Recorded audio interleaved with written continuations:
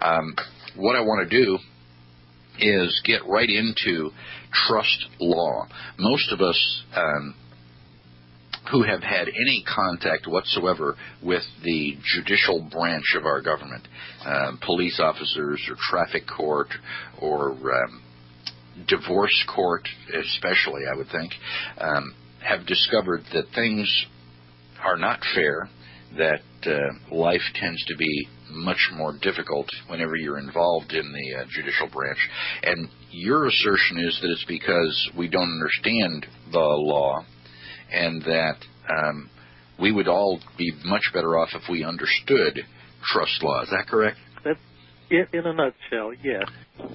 Well, I won't. I should have done this first. Um, we have, or uh, you have created a document which I have put on my website.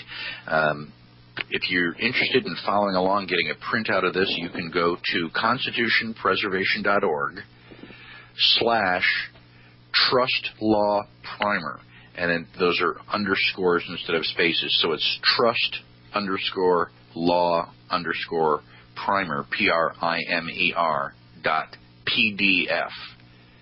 So it's constitutionpreservation.org slash trust underscore law underscore primer dot PDF. And it's a six page document that was generated uh, uh, by Mr. Taylor to help you understand uh, a little bit about trust law. And that's the document that we're going to be uh, using as our uh, text today. So give give me an example of a trust. What what are the three things necessary to uh, three elements of a trust? To know that we've got a trust, we've got to have a beneficiary. There's a fancy name for it, K Trust. It's uh, an ancient term, but we have to have a beneficiary. We also have to have someone responsible for the trust. We have to have a fiduciary or a trustee. It's same term, same concept, different terms. And we have to have a trust property. There has to be a trust property. Of these three elements, we can, it's another item in there. We can go back over this again. Of these three elements, we have absolutely to have two of them. There must be a beneficiary and there must be a trust property. If there is no beneficiary, there is no trust. If there is no trust property, there is no trust. So what do we do with the fiduciary? If there is a want for a fiduciary, the trust still exists and a court of competent jurisdiction may supply a fiduciary. So we have to have a beneficiary, we have to have a trust property, uh, the trust will function with the fiduciary.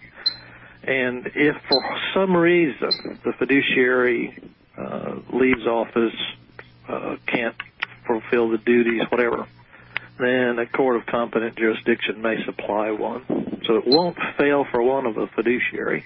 It will fail for one of a beneficiary or want of trust property. So let's let's go. I want to uh, generate an, an example. Let's assume for the moment that I am very rich and that I have children. Unfortunately, neither is true. And I want to leave twenty million dollars to my children, who are currently about ten years old. And um, the doctor tells me that I'm not in good health and that probably have uh, you know less than a year to live. Okay. Well, I now have a problem if I want to leave twenty million dollars to my uh, children, you know, I give the the money to a ten year old. Uh, the ten year old's going to spend it on you know Pokemon toys, etc., and we're not going to have uh, you know the child is going to lose the money or be swindled out of it. So what I need to do is to um, uh, set up a, a trust, a, a contract which allows allows me to um, contract with Uncle Chuck. Uncle Chuck will uh, hold the money until the children are, uh, you know, 21 or whatever the, the contract decides, and then the um, uh, Uncle Chuck will then give the, the 20 million dollars to to the children. Now the children would be the beneficiaries. Um, I am the creator of the trust, and Uncle Chuck is the trustee. And the reason that I pick Uncle Chuck as the trustee is specifically because I trust him. So that would be the, the three elements of the trust. Is that right? Correct. And uh, we've got, uh, well, you've added actually a fourth one, and that's fine. The grantor or the creator isn't really an element of the trust. Uh, we have that as a byproduct, especially oh. when the creator is not necessarily also the trustee. But yeah, well, you've you've identified them all. We just didn't also say, and by the way, twenty million dollars is twenty million. property. Yeah. Okay. Yeah. That, yeah. You a... you you covered it, and it's an excellent example. And of course, what you're talking about here is just very run of the mill, very standard estate planning. There are lawyers that spend their careers helping people deal with that exact scenario. Uh, it's a very common topic, what you're talking about there. And there are a lot of people who have had interaction with trust law on these very issues. Uh, it's a very common part of estate planning. All we're doing here, all that we're doing here is saying, great, once we have this model in mind, once we have this picture of how this area of the law works, let's don't look at it solely in terms of estate planning. Let's see how this can be used offensively by those that have evil motives. Offensively. Offensively. So we are, we are being attacked by this type of uh, of law. When we when we understand what has happened we will very naturally and very understandably feel attacked by it. And that's what they're doing. They're using this area of the law and seducing us into making agreements that we don't even know are agreements or what the extent of those agreements are, and then hammering us when we breach those deals. So as we understand the law of trust outside the context of estate planning, then we start to realize exactly what the problem is. And so directly in line with the theme for where your audience is directing the concept and the energy, the solution in this area really is in the correct identification of the problem. So as well, we, in your uh, primer, the very first paragraph, you said that the uh, there's this legal mechanism for the traffic code and Correct. municipal court systems. Um, we only have about two minutes. Can you give us a brief overview of how that applies to trust law? I sure can. In two minutes, let's cover the basis for traffic codes everywhere. The automobile itself is owned in trust. How did that happen? The typical owner of the new car never sees the document that is evidence of full title. That document is called the manufacturer's statement of origin or the manufacturer's certificate of origin, and we don't ever see that. That paperwork is handled behind the scenes, and it's that document that is, for us in Texas, uh, it's sent to Austin, and DPS turns around and gives us this thing called a certificate of title, or the state turns around and gives us this thing called the certificate of title. What's that? It's legal title. So, what do we have when we have a document that is evidence of legal title only? It's evidence of split interest in the property. What a trust does is divide the legal interest, which Uncle Chuck would have, from the equitable interest which the kids would have. So, Uncle Chuck can trade the property and trade legal title, and the kids or their representatives, depending upon what their age is, have control over the equitable interest. This is how traffic courts started. Traffic court is nothing but a maritime system, that, which means there must be an agreement at the base. There must be an agreement. So we look and look and look and look. Where in the world could that agreement be? And we find that what they do with the ownership of the car in the beginning is set up a trust. not in a common law court. This is the part this is the part that many people are stunned and surprised at the um, the idea that a there is more than one type of law, and that when we go into a court of law, that our um, our constitutional rights are not being protected there. When we when we talk to the judge about the Constitution, the judge will frequently tell us, "Do not talk to me about the Constitution in my court." And could you can you highlight that difference for us a little bit? Sure. When one goes into that forum, the first or one of the first things we want to check out is the law of the flag being demonstrated in that forum. If there's a gold fringe on the flag, they're in maritime jurisdiction, and not just for that particular case, for all of them. So, as we come to understand that there really is a difference in the forum, in other words, law of the land has no gold fringe on the flag, versus the maritime system, where all the flags, the so-called state flags and the so-called national flag, have gold fringe on them, then we're in a maritime forum. That, at the beginning, tends to freak some people out, and they just stop right there and say that's wrong and that's illegal and that's unconstitutional and you can't do that. We need to go beyond that and say, okay, if you're in a maritime forum, where's the agreement? Oh, the, their system is a house of cards staring down a Texas tornado right after we understand what the rules of the game are. Well, let's go to the rules of the game let, let's assume that we are not under constitutional law. Let's not look at the Constitution. Let's look at admiralty jurisdiction. What are the rules of the game in admiralty jurisdiction, and how can we? Uh... In general, if we're in admiralty, if we're in maritime, then we are in a commercial forum. There will be two fundamental bases for activity in a judicial forum uh, maritime forum. There will be two. One will be a private obligation of some kind or other. It will be contract based or trust based, or the other is a tort action. A tort action would be like slipping on the grapes at the grocery store. The liability for the grocery store arises due to the negligence of not managing that stand of grapes.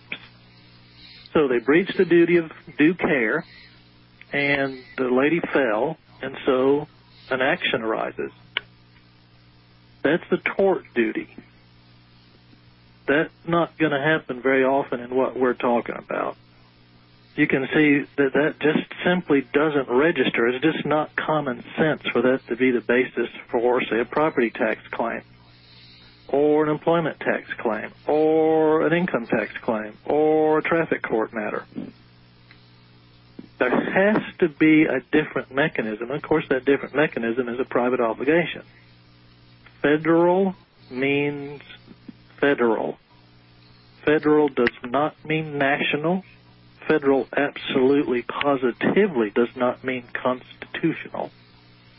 Federal means federal at a level of the state where we ordinarily think of a, a body politic as a state, federal means by compact or by treaty. At the level of the individual, where all of us are, federal means by private obligation. Once we understand that, and we understand that the forum in which these obligations are evaluated, and in fact the choice of law in which they are entered into, not to our surprise, we we do this unknowingly. The choice of law there is the maritime law, not the law of land. Well, let's go back and give some concrete examples again. We're talking about um, this traffic court thing. It all starts when we buy the car. And tell us tell us a little bit about the the title. What is the actual title for the car, and what do they send us after I've made my five years worth of payments? Okay. Uh, what they send us after five years of payment is exactly what we get the minute the agreement is opened. It's a legal title only. that evidence, the evidence of legal title only, is what everyone has in their file drawer. It's called a certificate of title. It looks like real fancy paper and it's got embossing in it and all this fancy artwork on it. It's legal title only. What we traded in order to get legal title only is the document that is full title. The document that is full title comes out of well, I'd say Detroit, just to, to name a place. But it comes with the manufactured car. The title paperwork, the full title paperwork, moves with the car in transit all the way to the dealership. Now that document is called the manufacturer's statement of origin. And that's full title, and we never see those, and the only time we ever really see one is when we get a microfiche printout, and then we don't see the back side what happens with those documents, I'm not 100% sure, I've never seen the process, but I'm 98% sure this is what happens. We trade the MSO that we never see when we go in and buy the car. We trade the MSO that we never see for the certificate of title. The MSO goes to Austin, it gets microfiched or microfilmed and promptly shredded.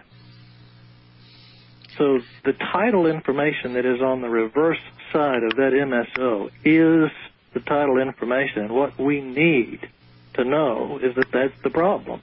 What's the solution? Negotiate for the MSO.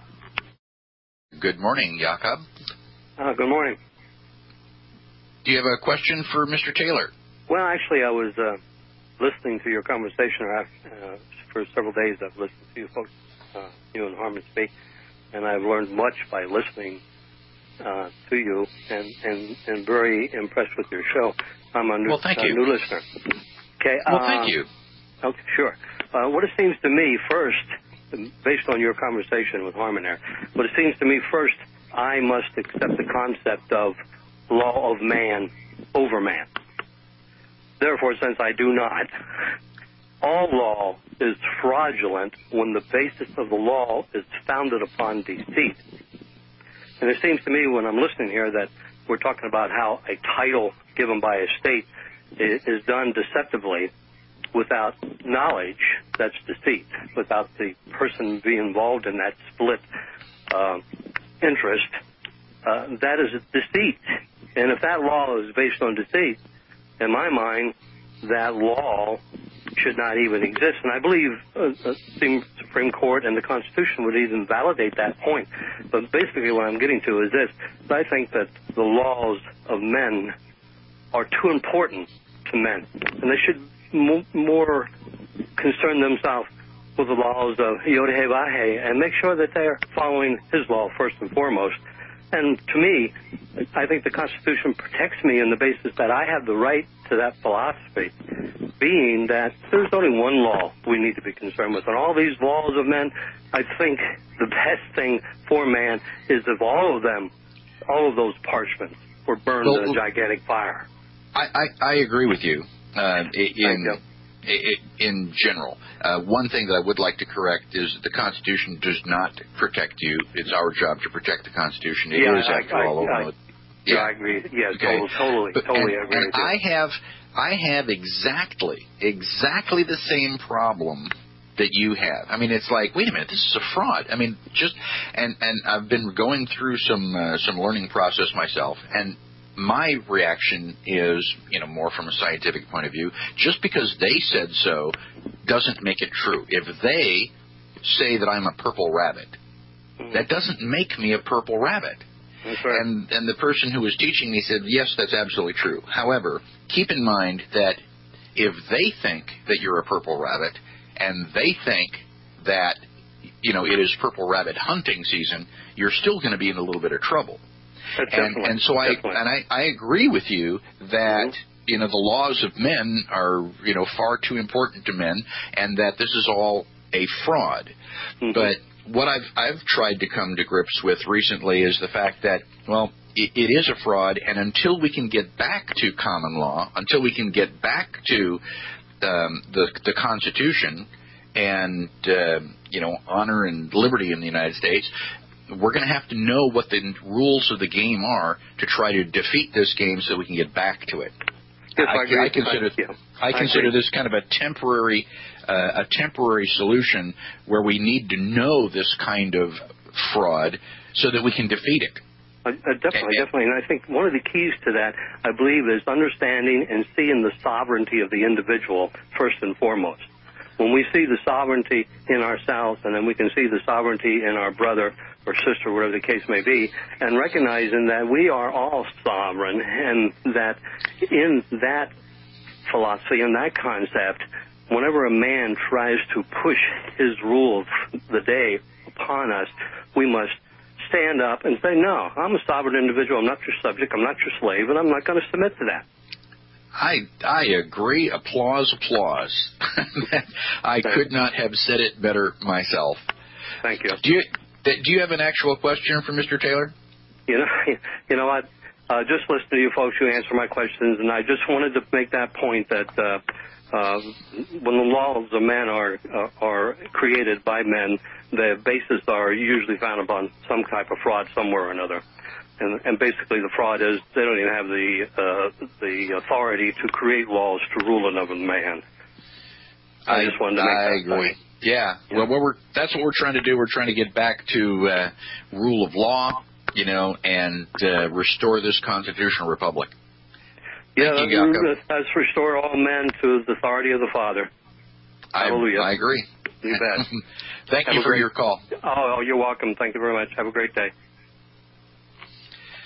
Well, Harmon, you're doing an excellent job. See how brightly you're lighting these fires of liberty?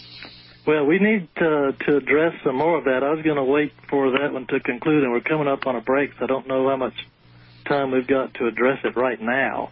But his Uh, call is the kind of call that's the most important because if we cannot get beyond the barrier at which he is stopping, we will not solve the problem. I, I, I agree. And, and it's a barrier that I've had. Yeah, sure. He's in it- it- wonderful, wonderful company. A wonderful Yeah. company. The whole I- nation has been there. Well, let's focus on that barrier. Let's focus on that barrier and help our uh, listeners to step over it. the the framework, the choice of law at which the caller evaluates the matter is the law of the land choice of law. If we were there, he would have a 100% dead bang defense to all of this stuff. We are not there. That is not the choice of law. And under the choice of law in which we find ourselves with all of these agreements that we don't know about, that morally seem to us to be deceitful, is not the law of the land. It's the Constitution free maritime commercial zone. So the entire system is designed around deceit, but we need to remember the story of the Gibeonites who deceived Joshua and the princes of Israel, and the Lord upheld that treaty that they entered into against Israel. It didn't matter how much the fraud was by the Gibeonites. That didn't matter. When Saul went in and butchered them, the Lord put a judgment on Israel, and it was a famine. And about three years into the famine, David said to God, What's up with this famine? And God told him, Do you remember Saul and do you remember the Gibeonites? So, long story short, David arrested seven of Saul's descendants, turned them over to the Gibeonites, and the Gibeonites hanged them, hanged them at the same time. That ended the judgment. And the lesson there is the agreement made in the Lord's name will be enforced. It doesn't matter how fraudulently induced it is.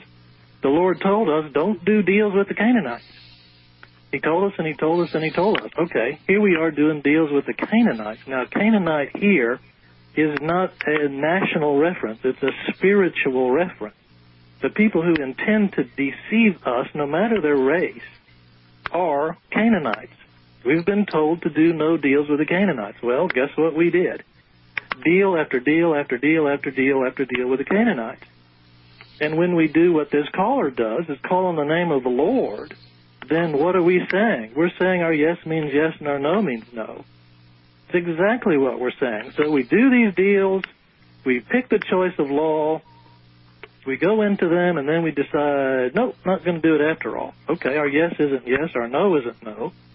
And it's literally the Lord God Almighty Himself who is enforcing these deals against us through this system that is a beast system.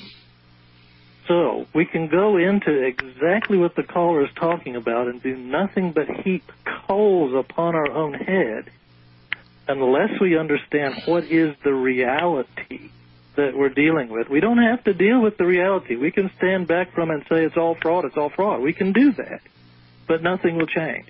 We've stood back from it and said it's all fraud, it's all fraud for 50 years as a community, primarily in the income tax area, but as a community. That's exactly been our approach, and what has happened, nothing constructive. The problem has simply gotten worse. Once we get beyond that barrier and we say, okay, fine, what is the choice of law and what are these deals we're into? Now we're across that barrier. And now we're saying, fine, if I'm in an agreement here, why don't you show me what I signed? You say there's an agreement. I see the gold fringe on your flag, and there's no tort action going on here. So, okay, if that's what your case is, if that's the theory of your case, then you will be kind enough, I'm sure, just to show me what it is I've signed. They'll either produce it or they won't if they can't produce the agreement in the maritime forum, guess what? They don't have a case. so we don't necessarily agree with the rules, but once we learn the rules, we can learn the rules and win. Amen. That's exactly right. Um, Harmon, this is wonderful. I really appreciate your being on today. I think that we have uh, found the door. This is kind of like the Rosetta Stone to uh, solving all of our problems. And uh, it's uh, strange and unusual to many people. Um, you were talking about the the two different Michaels you know, one in uppercase and one in lowercase. Can you Correct. tell us more about that and the legal implications of them? The legal implications is what I call the federal capacity versus the proper capacity. It's it's not where the popular mindset has taken that. It's not a separate entity. It's not a corporation. It's not a vessel. It has characteristics of all of that. All those preliminary evaluations are very close it just let's go the next step. It's not really a separate entity. It is us, just with a different relationship. What's the relationship? The all caps name identifies the well. Let's just call it the membership name. There's there's a membership, and I call it the Church of the United States. We can call it the federal government. We can call it what we want to, but there's a membership. It's a private club and we have to apply to get in. Now, the policy is anyone who's a, who applies gets in. Anyone who applies gets in, but so that we know that you're a member, use your membership ID name.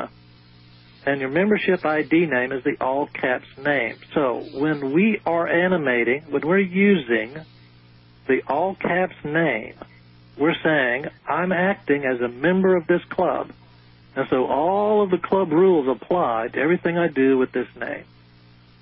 The proper spelling name is a membership to a different club. The, all the, the proper spelling name, the upper lowercase name, would be the club that people think they're in and just aren't. That would be the law of the land club. The all caps name is membership to the Constitution Free Maritime Commercial Zone Club. And that's that's one of the simplest ways to describe it. Capacity describes a relationship. And it's the relationship with that other system that is identified by the all caps name. So we're, we don't see guys are born as a son. They may also be a brother. They may also be a nephew. They may be a cousin at birth. Later they may be a boyfriend, husband, uncle, all that we are not in one or more of those relationships, flesh and blood, and then in the other relationships, a commercial entity or a vessel on the high seas, whether it's pavement or water. We're not somebody different just because the law gives us a different relationship. The law identifies all the relationships so it knows what to do in that relationship. Okay, that's all that the all caps name does.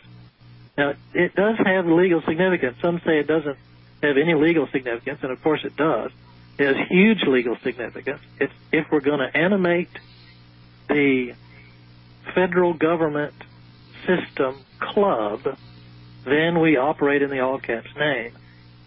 and it's presumed. Uh, all of the mail that we get when our address is sold, the names will come in the all caps.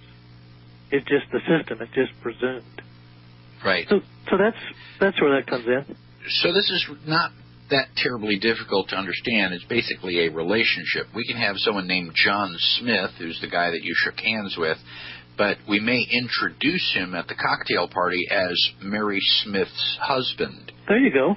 And so, you know, he has a relationship with somebody, but that it's still the same person. John Same person. Smith and Mary Mary Smith's husband are the same person. Same guy. And and so basically we have ended up getting married to this federal system that we don't know about. Is there some way to dissolve that relationship? Can we get a divorce from that federal system?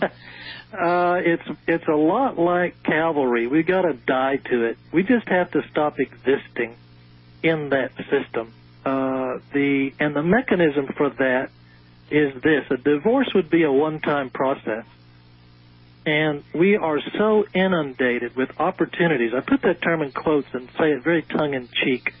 We are inundated with opportunities to animate the federal capacity. We're inundated with opportunities to use that all caps name. So we have to identify all of those opportunities and terminate all of them. It won't be a one-shot deal. It's not like we can go file something in the clerk's office and have it be done.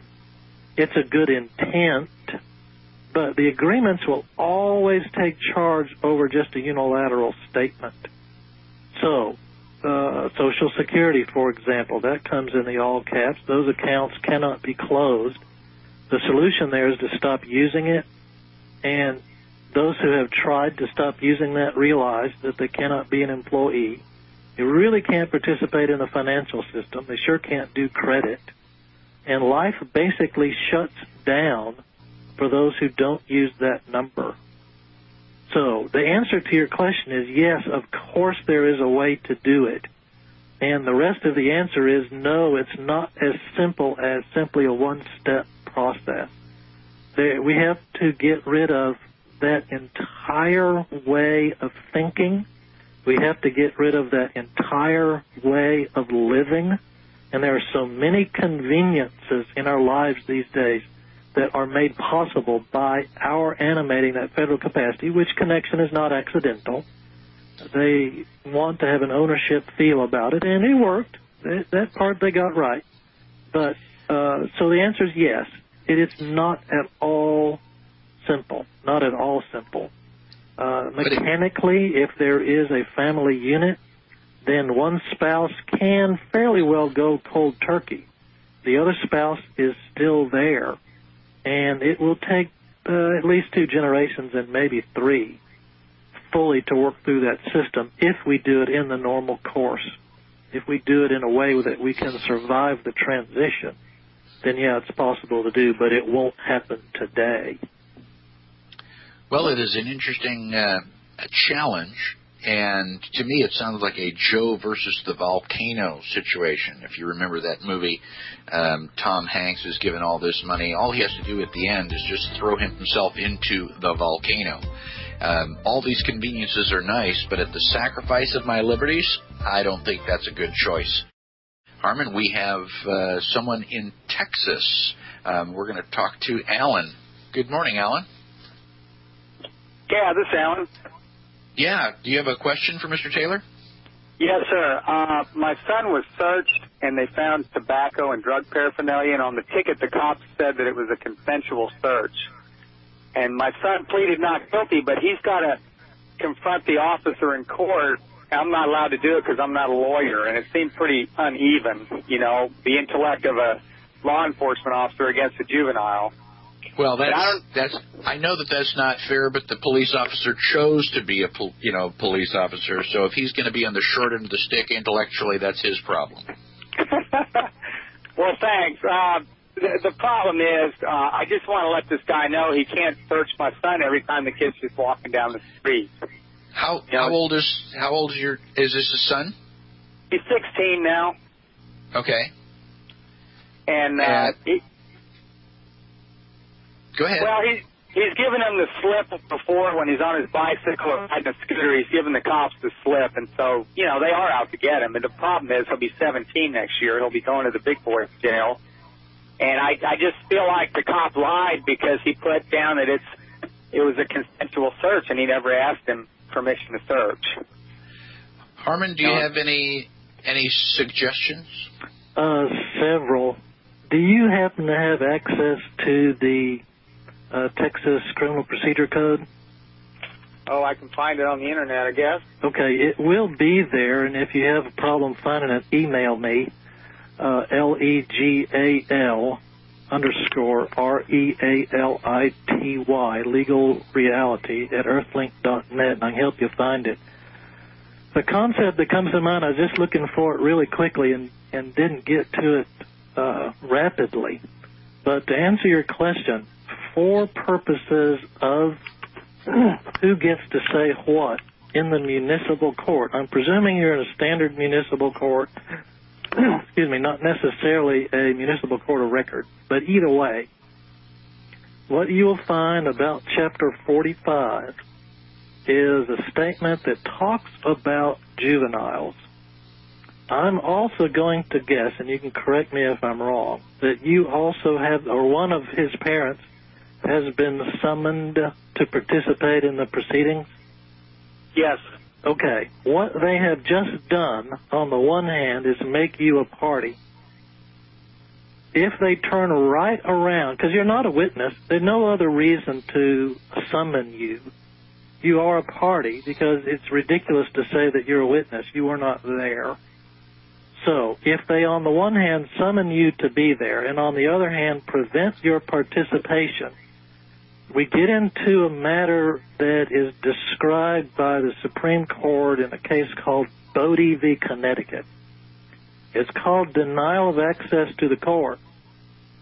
And so if you if you are not allowed to participate in that, it's a it's a long road to hoe. I'm just saying you can use one of the statutes in there that talks about the uh, nature of your having to be there and they put in the provision that you're summoned. So in the in the code there. So what am I saying? I'm saying you're a party. If they say you are a party by that summons and then turn right around and say you cannot participate in this, then in in my view of things, that's grounds for appeal. It's the kind of thing they probably don't want to address, but they may not understand the problem well enough to know that they don't want to touch it. The well, the other thing is they said I could uh, give my son questions to ask, but my son himself had to ask the questions because I'm not okay. aware. Right, and see that's the game they play with all the parents they summon in, and what I'm telling you is challenge them on that. Okay. You'll you'll need to put something in writing in the court you'll need to have some kind of motion or some kind of objection and document it so that that may move forward with the entire record on trial de novo to the county court.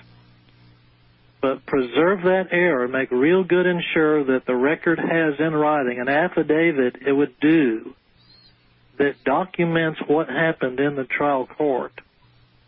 The municipal courts are not real good about entering signed orders. So we have to preserve the facts of the matter as to what happened so that we can preserve the point later. And where that comes up, we we won't know. We don't know how far up the line we'll have to take it. But at the end of the day, if they summon you as a party and disallow your participation, that's bad. They think they can do it, but the only reason that they think they can do it is because no one has stood up to them to tell them that they're wrong. So just stick to your guns. No, no need to be terribly upset about it. It's a, it's a mill. It's a commercial mill. It's a revenue mill. Their entire point is revenue. So they will have their way with you. They will have their way with your son in their forum. The objective in the municipal court is to understand enough about it to preserve the points for trial de novo. And there are several points in all of that sort of thing. On the specific issue about the search, there's a lot of stuff to study. uh, what is and what is not a consensual search. It doesn't matter how the cop describes it. It matters what the facts are that the judge up the line is going to review. So if there was a basis for the stop, then there may also be basis for the search. And there are just scads of cases, dozens of cases that address that. And so right now, off the top of my head, I can't give you my opinion on whether that was a good search or not. But consent matters where there is no warrant. There's rules about warrantless searches. If one of their rules applies, as in exigent circumstances, we think we're going to lose evidence, then it doesn't matter whether it's a consensual search or not. The search is good. If there are not exigent circumstances, if they're in a circumstance where they can in fact get a warrant, and I understand some of the warrants can be done electronically these days, and it's something else to check, then maybe they don't have exigent circumstances and maybe they did need a warrant and now consent does matter and now everything that happened matters. And whether your son gave consent or objected and whether that can be established to a jurist's satisfaction or the satisfaction of the administrative advisory panel. We have no juries. We're not in a law of the land system. We have maritime administrative advisory panels, but just the same, they are our neighbors, and we can satisfy them. No, that was not a consensual search. They Alan, to what, preserve. was, what was what was the re- original reason the police officer stopped to talk to your son? He saw I him mean- walking down the road with his friend, and he knows he's the kid's a pothead, and he he just decided to search him. He turned around and went and searched him. I see. They're walking- And they're just walking down- So, They're walking down the road. There's no curfew. They're just there. Right, 8 p.m. Yeah. Okay. Well, unless there's something more to that, uh, I, I would hope you'd be able to prove up an adequate uh, basis for a motion to suppress. It will most likely be denied in the municipal court. They're not real keen on the the latest in these kinds of rules. But anyway, Well- yeah, just document it all. Harmon Taylor, my co-host. Thank you for being here this morning, Harmon. And we have lit up a question in Illinois. Michael, thanks so much for joining us this morning. Yes, uh, I appreciate your show, Michael, and uh, I really appreciate Harmon. I've been following him for quite a few years, and really wanted to talk to him. I have a question for him. Uh, Fire away. Appreciate the call. yeah. Uh, anyways, uh, I was listening to the Alfred Adask show, and he had a friend that he said was declared 100% disabled and can't get insurance. But he also said that he cannot be brought into court on a traffic citation or on anything like that. So I am speculating that he's not insurable. He can't be property. Like I, I know, Harmon, your position is that you know the, the all caps name is a you know is a type of position. I forget I forget the term. Capacity? Capacity, right? Good. But you have I'm- been listening. Excellent. I, I'm thinking though that the capacity is as a res in the trust, as a property in the trust, as opposed to you know being a beneficiary of. What do you Oh, think?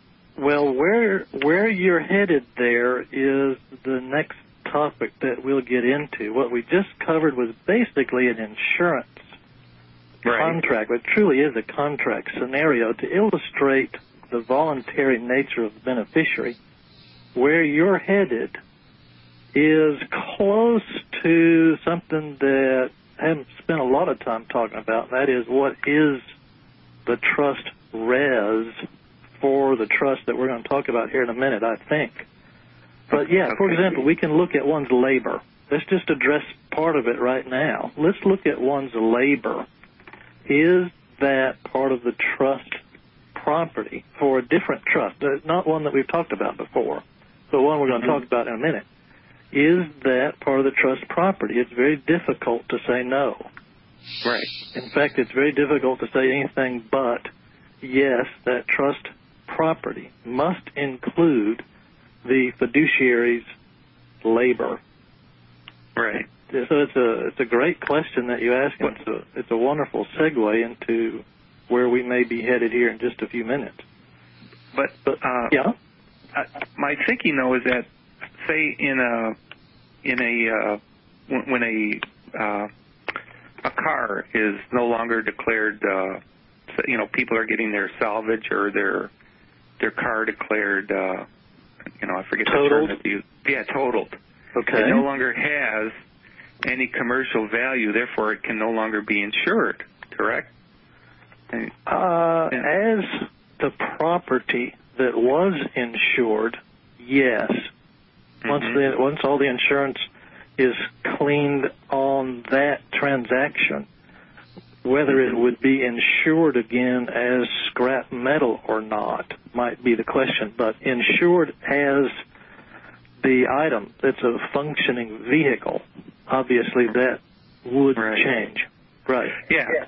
And I I think my thinking is that the state, in order to hold any part of that vehicle, it has to be have commercial value to it if the state is a commercial entity or, you know, therefore it couldn't, just like the same way this friend of Alfred Adask couldn't be insured, he was declared 100% disabled, they couldn't hold his body as as their property because he can't be insured because he would have no commercial value. Is that does that does Well- that think he sound okay or?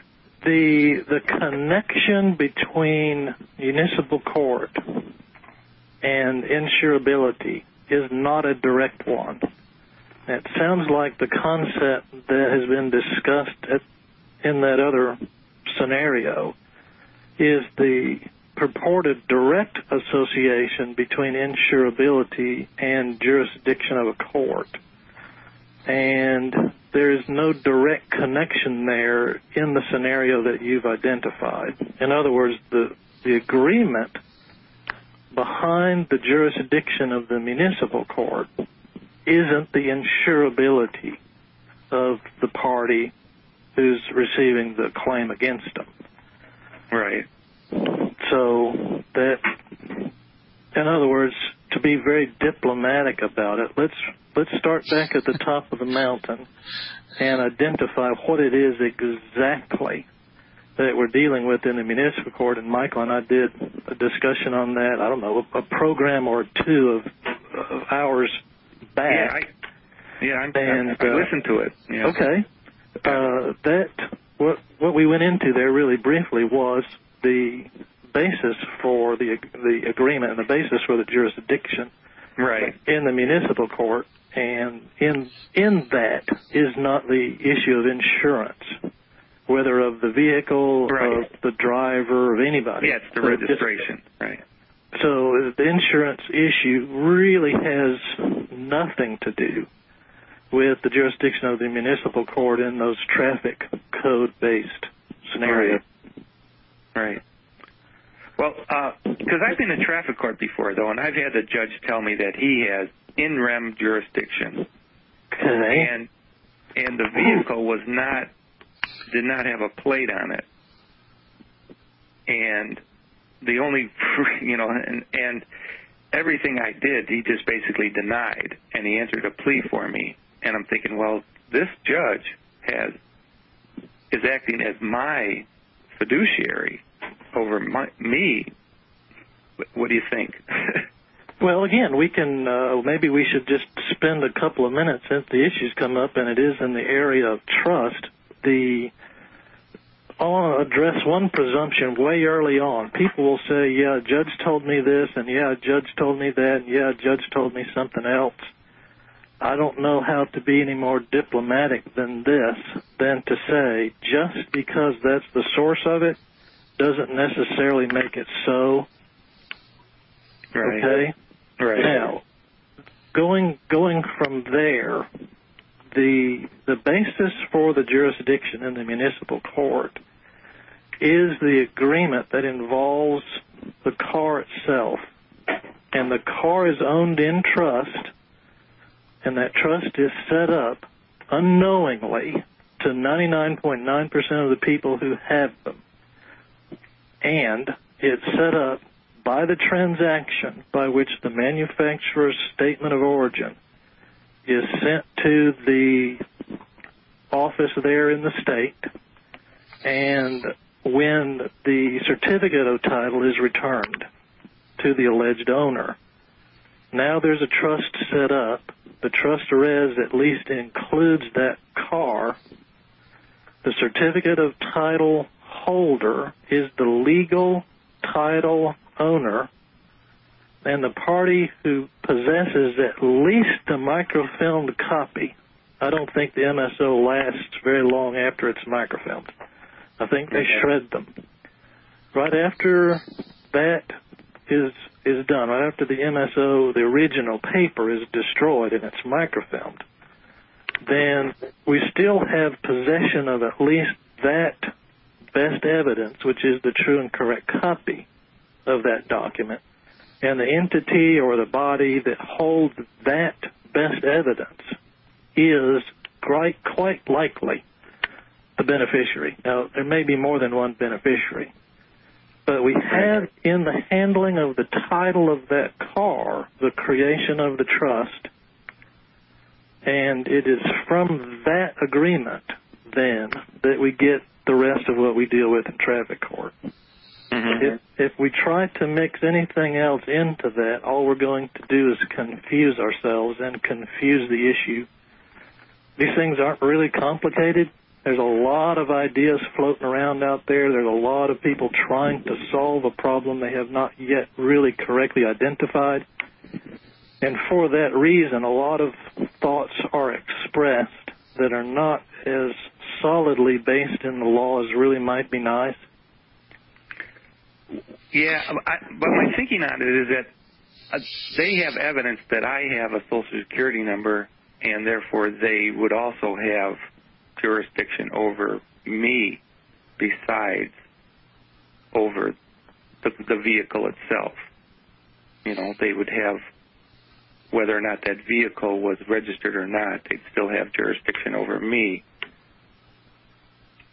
The Does that- social the Social Security insurance agreement does have a political affiliation called a citizenship character to it. That's Right. true. That won't matter in a state court. Social Security is administered on a state level. That's true. The existence of the social would matter for a federal court scenario.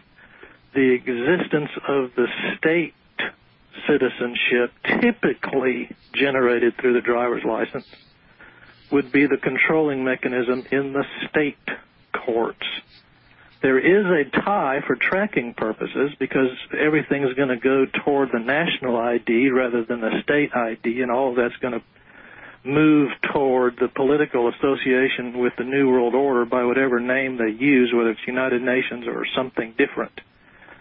So mm-hmm. they're they're making an accounting connection between the Social Security and the state citizenship, which would be the driver's license, typically, not the sole thing. But where where you're coming with your questions, which are excellent, and I say they're excellent because there's a lot of people that have this same sort of connection in their mind about how that system works. It's a tangled web of information that's out there. And one of the reasons that Michael has me on the program is so that we can untangle that web. right. And Right. so the, the connection between Social Security and the driver's license obviously exists. Is that a basis for the jurisdiction of the municipal court? No. There, I- there are other mechanisms by which the municipal court does justify its jurisdiction. But We have about you we have about 30 seconds left. Uh, Mike, you're welcome to uh, stay through the commercial and ask another question, but why don't you go Okay. ahead and, and pose one now so we can think about it. Yeah, well, isn't the state actually a federal state though? So Why don't you why don't you hold the answer to that? We'll we'll okay. Yeah, we'll, we'll we'll leave that as a teaser, um, and uh, that, I think that's an excellent question. Thank you for calling, Mike. These are great questions, um, and Harmon, thank you for your excellent answers. This is uh, Michael Badnarik. We are here on We the People Radio Network. We are talking with uh, Harmon Taylor and Mike in Illinois about trust law, trying to untangle this web of in- misinformation. Don't go away. We'll be right back. Mike, you had a, a question. You want to repeat your question that we went to just before the break? Yes, uh, just that uh, is, aren't the states considered federal uh, states? And let's uh, let's address that starting with this. Yeah, I hear in the question a presumption that a state would have jurisdiction over someone or something solely because it exists. If we were dealing with a law of the land based system, I would agree with that. We are not. And I want to illustrate what we are dealing with because the answer to your question is in the question itself. Let's focus on the term federal. The question is, what does federal mean? And these are steps that come back to answer your question, which uh, let me just do that right now. Are the states federal? Yes. Now, let's understand what federal means. Federal means federal. Federal does not mean national. Federal does absolutely not mean constitutional. Federal means federal.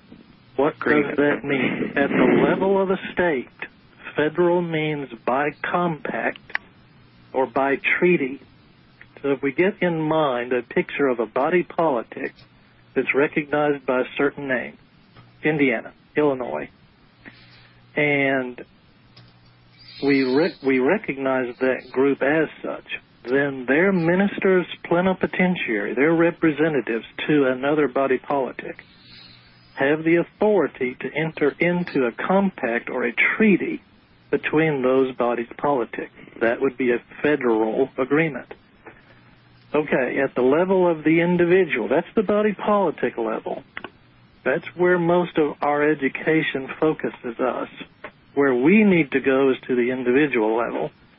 What does federal mean at the individual level? Federal means by private obligation. Now, let's put some pieces together. Are the states federal? Yes. Therefore, what is their mechanism for authority for anything? Private obligation. They don't have authority without it. Right. This is this is the the I think this, I'm finding in my experience this is the the kind of barrier that we run into, and it's a tough one. And it's why your questions are so good. I repeat Michael's characterization of the questions are excellent, and we need to discuss these things. And in this scenario, it's perfect. Because why? Because a state like this thing called the federal government, this thing called the state government, operates by exact same principles. What are those principles? Private obligation. The two generic types, contracts and trusts. Is a state federal? Yes. Now, you've just answered the question to your jurisdiction issue. Yeah. If there's an agreement, then there is the authority to enforce it. No agreement, no authority to enforce it. Right.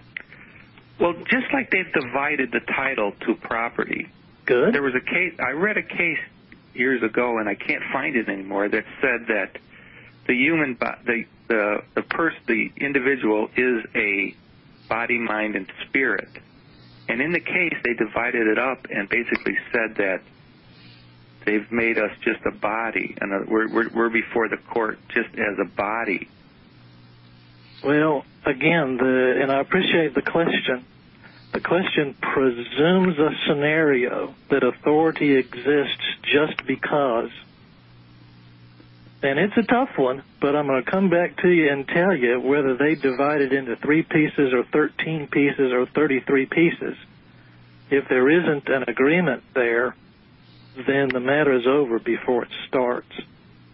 And for there to be an agreement there, I will tell you that there must also be a sentient mind recognized under the authority of the law of that system to have the capacity, right, and authority to enter into agreements. If we don't have that, then the only characteristic of that human being is a slave. A slave does not have the capacity to enter into agreements. And this entirety of the system that we have right now would collapse immediately. Why? Because it's a federal system. It exists by agreement. Right. Okay, so we can we can focus on body and we can focus on federal and we can focus on a lot of these things and they are very very helpful steps in the process to be sure. If we stop there and if we do not go into the agreement at issue, then we are missing the foundational issue. Right. Right. No, I no, I understand it's the it's the original agreement this, the point is, I guess, is trying to understand what you know. We're stuck in this position, and what is that position they put us in?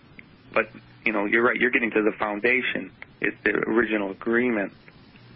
I, right. I guess I'm thinking about how the I heard the Attorneys Act of 1938 says attorneys can only represent artificial entities and property. So we must be one of those two when we're before the court with an attorney. Is that does that make sense or? Well, uh, here again, we're we're trying to identify jurisdiction without looking at the agreement. If all we are is property, or if all we are is an entity, then where is the authority to enter into the agreement? So it's a, basically a catch-22 situation if we are only property, then there is no agreement. And if we are competent to enter into the agreement, then there has to be consciousness. And, and if they don't let us know that the agreement exists, then it's fraud.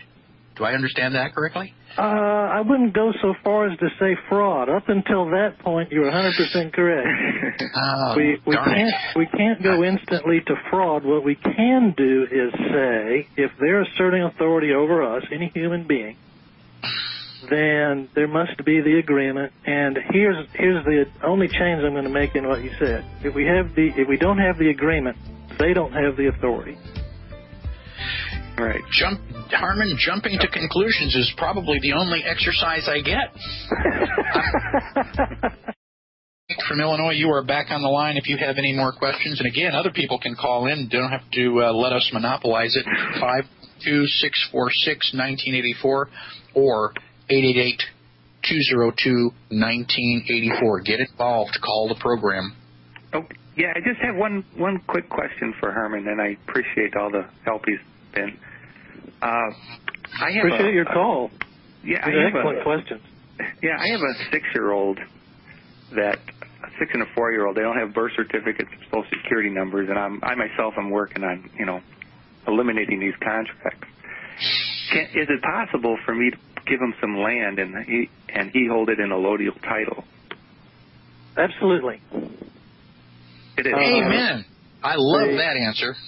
The at, at their age of minority, uh, I mean, this fits in the program too. You'll probably want to transfer it in trust. Mm-hmm. Uh, transferable that to them then at some point after the uh, after the age of majority. And in general, I'm not kidding at all. Some people think this is hilarious.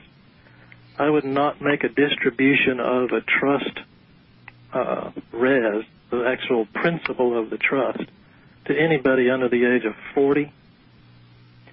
And uh, it just life is different by then for a lot of reasons. The the generic thought about property is we've got to understand. This goes back to the Kelo v. City of New London case. We've got to understand how that property exists up under the authority of the federal system. And since it's federal, we know that the property got there by some kind of private obligation or other. So, the generic answer to your question is yes, absolutely. You can transfer land to them and it's not that you can't put it in their name at, at whatever age you want to. It's it's that they're really not in a position to own it yet. So you can either wait till they get to be age of majority or put it in trust. But the thing isn't that quite so much as it is understanding all of the gotchas that go into land ownership. So we've got again we've got the capacity issue we've got time, place, choice of law, medium of exchange, property description, and matters of this nature to know affirmatively how to document in writing so as to make that transaction one that doesn't bring that property up under the authority of the federal system. Can I take a minute here to uh, rewind? Um, Mike, you indicated that you have uh, two children that do not have birth certificates and do not have social security numbers. Right. Um, can, can you elaborate on that a little bit more? I'm, I'm thinking that some of our listeners are in shock, thinking that it's not possible. You can't get out of the hospital without a uh, birth certificate. Can you can you give us your personal experience on how that was uh, possible? Well, they were both born at home. I had a midwife. And Excellent. So we didn't have to deal with that at all. And, And, and uh, so your children do not exist because they don't have birth certificates. well, So if, I came if I came to your house, they would just be invisible because there's no legal documentation for their for their existence. Actually, uh, I, I can't remember if we actually done this yet or not, but it's my understanding that you enter in, enter their names into the front of your family Bible, and that's a legal document that can be used in court. Was just fixing to mention if you'll get each of them a Bible and document that information, you'll be glad you did. And get maybe, in, in addition to the big ornate kind, a Mhm. small pocket size that has the exact same information in it. Mm-hmm. Uh, you'll, you'll, we, we may have to do a whole nother show on that, but that's a very good idea and good for you for mentioning it. Okay.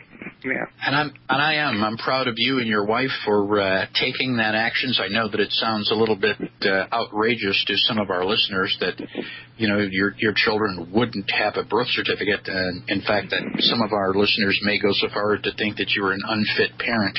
Um, I would like to.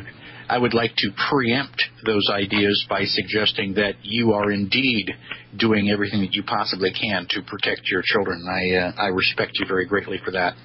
Well, thank you, thank you. Yeah, we we also homeschool so that we, you know, uh, not into that contract either with uh, with the state.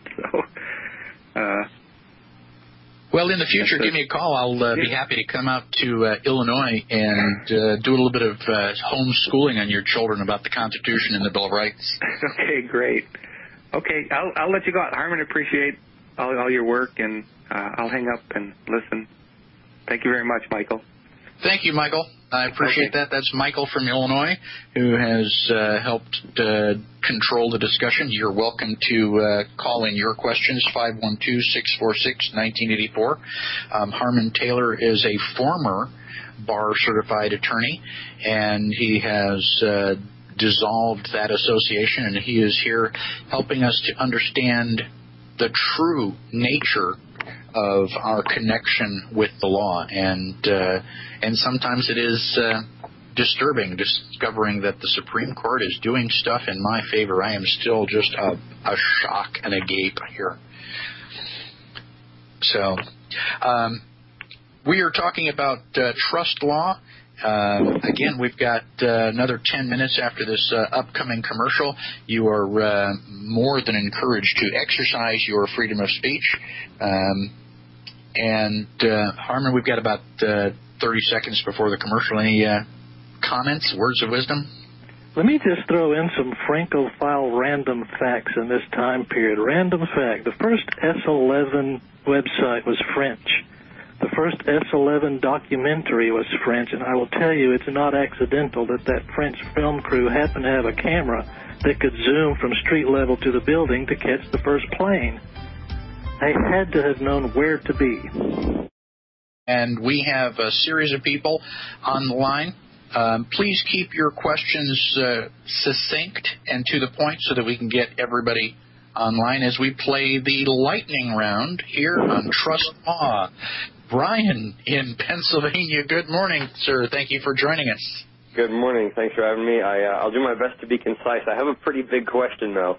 Um, been doing a lot of uh, research on the law, and I'm wondering um, if there are specific Uh, well, for my question, if there's a specific realm of law that I should be investigating more, I'm, I'm looking into um, how we could prosecute um, prosecute some of the perpetrators, uh, whether it be for the September 11th attacks and some sinister elements of that, or just the gross negligence that we see across the board in, in government to try to rid ourselves of such a problem. The problem we have on criminal prosecution is that the people we need to prosecute literally commercially own the prosecution system. Let me gear you toward a case that's just the beginning of the concept. Bivens v. six federal narcotics agents. What we have in the Bivens Now, visit B-I-V-E-N-S. B uh, Bravo, Indigo, Victor, Echo, November, Sierra. Okay. And what the Supremes did there was establish a commercial claim for violation of clearly established rights. The guy was kidnapped in his own home, uh, hauled off, and put in jail. It was it was a bad drug bust, and so he sued. As, a, as opposed to a good drug bust. Right. Uh, this guy was totally criminally victimized. So, yeah, with the crime as the basis for the commercial claim, the individual has some reven- revenue, revenue, remedy in the commercial system and the judicial system. The criminal stuff at that level, don't hold your breath. Right. 'Cause I know we're not living in a world where it's likely to see some of the uh, some of the negligent ones be hung from the gallows. Lord knows I'd be I'd be happy to build the frames for those. But um, Brian. Brian, Thank- I thank have though. another I piece know you of got other callers. Yeah, I have a piece of trivial information for you. I used to be a Boy Scout for 12 years, Scoutmaster for 10 years. I know how to tie 32 knots, and one of them is a hangman's noose. If that information Uh, ever comes in handy, please don't hesitate to call me. Will do. Thanks, Michael. Thanks. Brian. We're going to go immediately to Bill in Indiana. Bill? Hello, Mike. Hey, I have the CD from We the Prosperity. I haven't got to go through it yet, but I will. But Bless your uh, heart. yeah, thank you. And you you handwrite all over every one of them too. I think it's pretty cool. Um, but I I didn't get to hear the whole part of the program, but you were talking about uh, you know the the, What the is last- the matter with you, Bill? You need Hey, to you get know, I up. am, I am, I'm earning a living and cheating while I listen, okay? So, but, but anyway, I'm going to still savor every word. Trust me. I, I'm, I'm, I download every one of them. Every word's gone through my head. It's been processed. But, um, going back to our caller, Mike from Illinois, with Yeah. the, uh, children who's homeschooled and such, um, Yeah.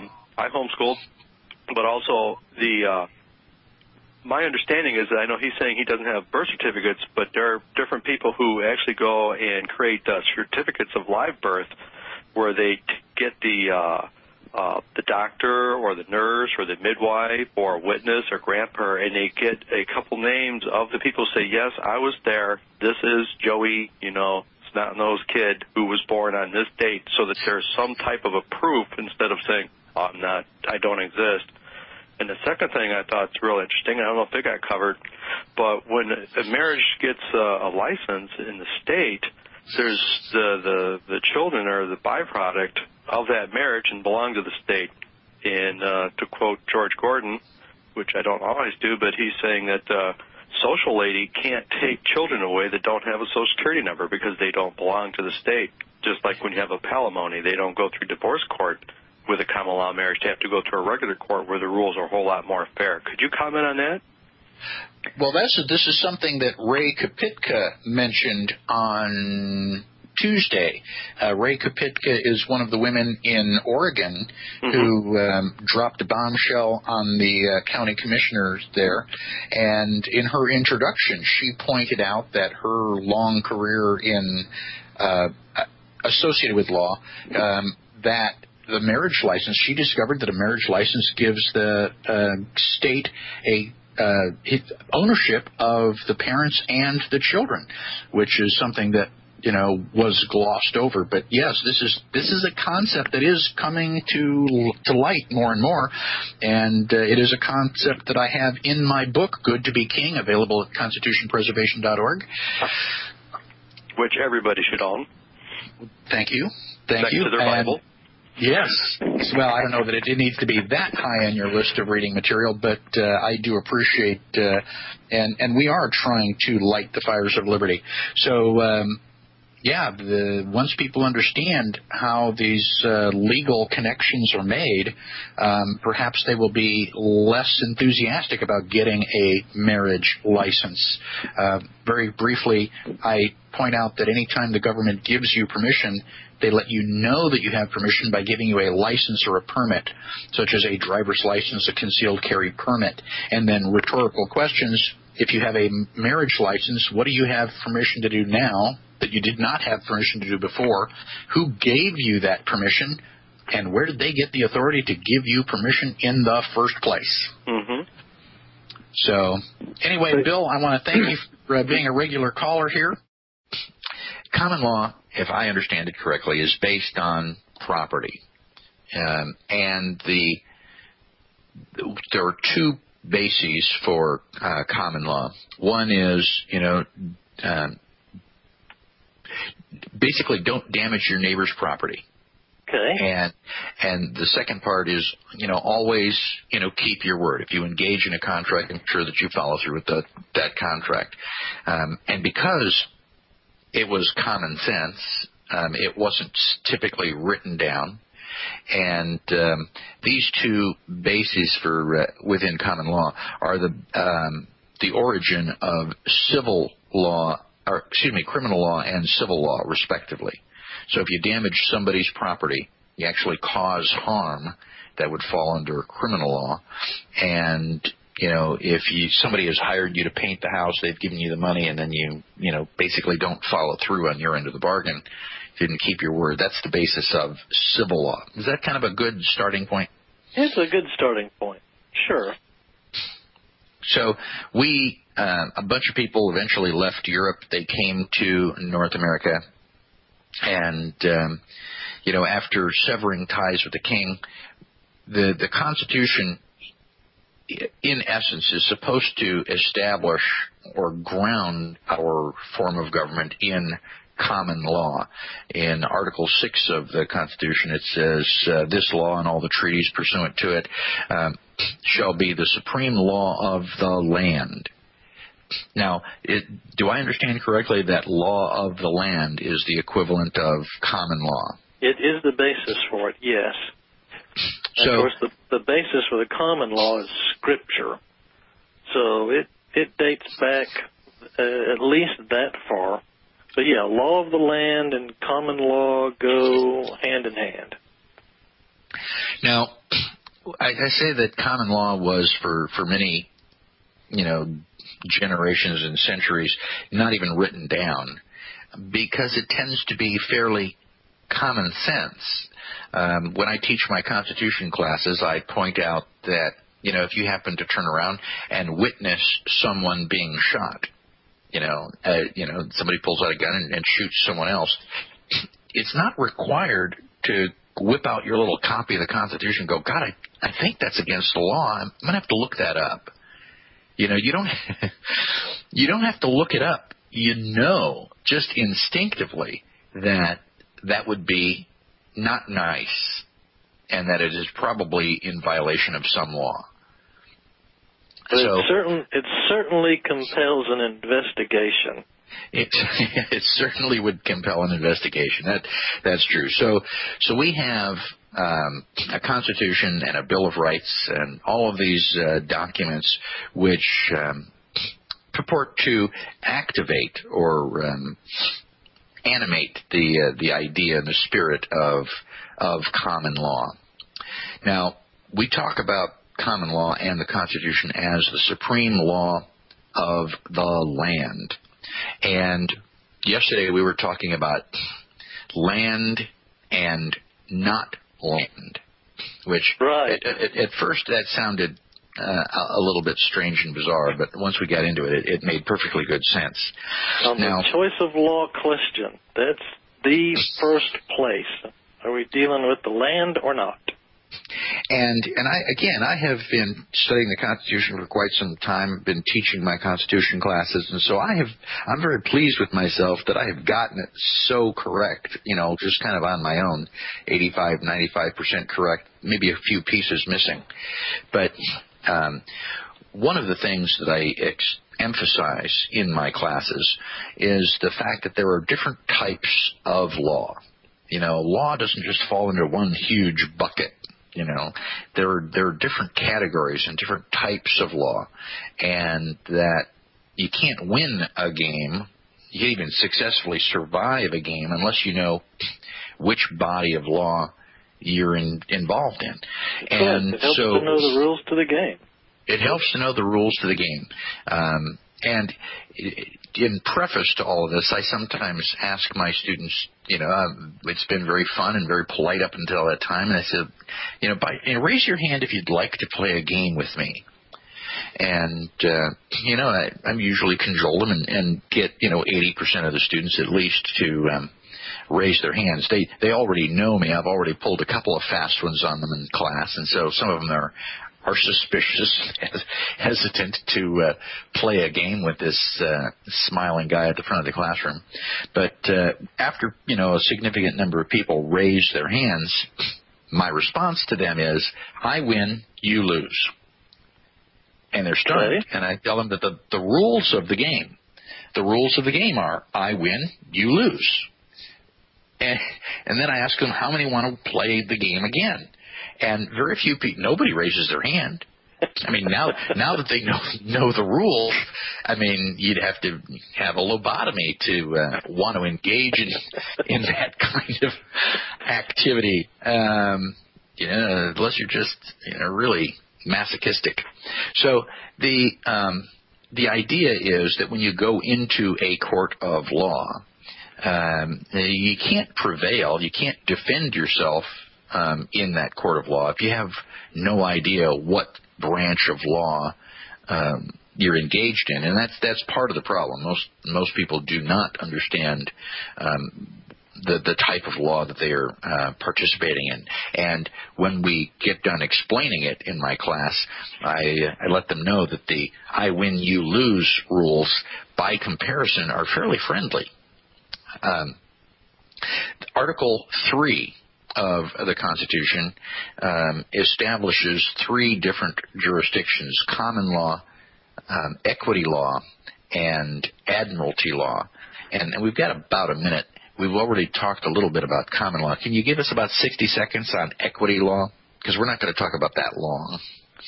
Equity comes from the church court side of the British system. There were the king's courts and the ecclesiastical courts. And when the king's courts were producing results that basically, let's just say they shocked the conscience, they just seemed so outrageous that that just couldn't be the law. What happened was people were going over to the church courts and getting relief. We talk about relief uh, as law, which is basically a money issue. And then there's injunctive relief, mandamus relief, these sorts of things on the equity side. So equities, the the progeny of the church courts way back when. And, and so you, you could basically, you know, pick and choose to some extent uh, whether you're going to be ruled by the king or ruled by the church. And um, our Constitution reflects uh, and acknowledges those two uh, origins. In a sense, yeah, the ecclesiastical courts are open right after the king's court's remedies have been exhausted. What's civil or Roman law? The Roman system uh, was, well, if we understood it in today's terms, Rome was the first great experiment in the maritime law-based society. It, basically, law comes out of the Senate. Well, they had a constitution, so law comes out of the Constitution, law comes out of the Senate. Of course, all that got taken over, and they had dictators called Caesars, and that was the the form of their law. But they they were not governed by the uh, what we'd call common law today. They weren't governed by Scripture. Mm-hmm. They were governed by your your mind, body, and soul are subject to the authority of the dictator.